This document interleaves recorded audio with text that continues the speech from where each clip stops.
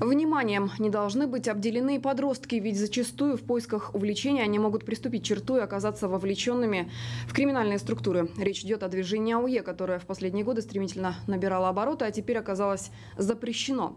О том, что это за культура и какую она несет опасность, расскажем далее АУЕ – арестантский уклад «Един». Это аббревиатура на слуху жителей страны уже не первый год. Впервые о данном движении в России стало известно в 2011-м. Тогда в Забайкальском крае задержали 20 человек, которые напали на небольшую фирму. Налетчики в возрасте от 15 до 22 лет увлекались идеями уголовного мира. Позже стало известно, что в школе, в которой учились несовершеннолетние, существовала целая иерархия. В ней с учеников младших классов старшие собирали дань, которую затем отправляли в колонию. Это все носит только исключительно меркантильный характер э, сбора денег и ничего не делания за счет подростков, которых направляют как э, боевую торпеду, как камикадзе, э, без ответственности сходи, принеси нам денег э, для того, чтобы покурить, попить и, и повеселиться. Забайкальская группировка оказалась не единственной, которая придерживалась идеологии криминального мира. По данным Генпрокуратуры, сейчас у ныне запрещенного на территории России движения АУЕ больше 34 тысяч активных приверженцев в 40 регионах страны. Почти половина из них подростки в возрасте от 13 до 17 лет. Только в социальных сетях насчитывается десятки тысяч групп, поддерживающих уголовную идеологию. Причинами такого повального интереса к движению специалисты называют отсутствие правильных жизненных ориентиров и нехватку внимания со стороны родителей. Поэтому если мы говорим о мальчиках, да, которые вступают в такие криминальные какие-то вот эти вот структуры, то это нехватка авторитета, конечно, авторитета мужчины какого-то и так далее. То есть очень мало спортивных все-таки каких-то ориентиров, которые дети могут опираться на это. Поэтому такие элементы, они начинают воздействовать именно на детскую психику для того, чтобы привлечь ее и создать какую-то новую когорту, возможно, какой-то новый контингент. Мне 17, в тюрьму попал 16.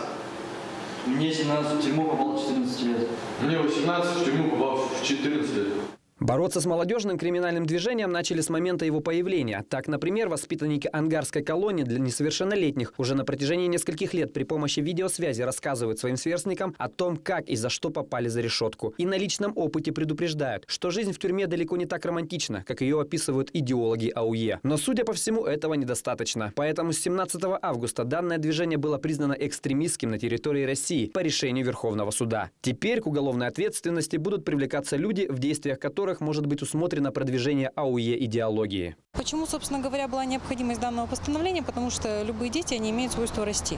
И сейчас мы получим достаточно группу, большую группу э, потенциальных несовершеннолетних преступников, которые ну, по прошествии нескольких лет уже будут, так скажем, дееспособными взрослыми гражданами. И как они свою жизнь будут устраивать, мы уже не знаем. Поэтому, конечно, необходимость данного постановления давно уже была. Вот вопрос в том, что, возможно, недостаточно детализировано вообще понятие понимания привлечения к ответственности, к административной или же к уголовной.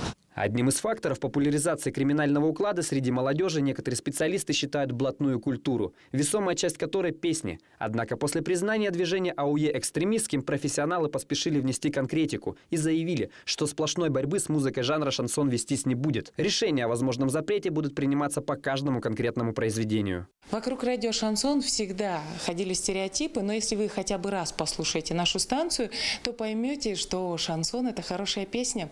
Мы ставим душевный музыкальный материал, и именно этим принципом руководствуемся в своей работе. Стоит отметить, что любой музыкальный материал, который звучит в эфире радио «Шансон», проходит серьезный ценз.